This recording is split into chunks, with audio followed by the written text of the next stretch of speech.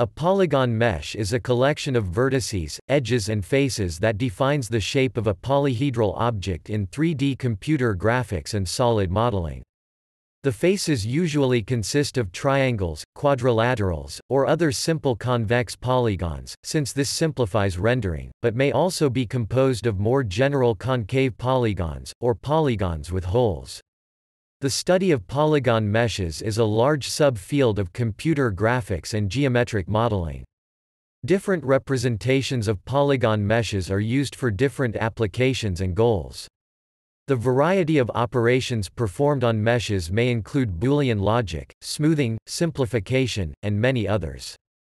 Volumetric meshes are distinct from polygon meshes in that they explicitly represent both the surface and volume of a structure, while polygon meshes only explicitly represent the surface. As polygonal meshes are extensively used in computer graphics, algorithms also exist for ray tracing, collision detection, and rigid body dynamics of polygon meshes.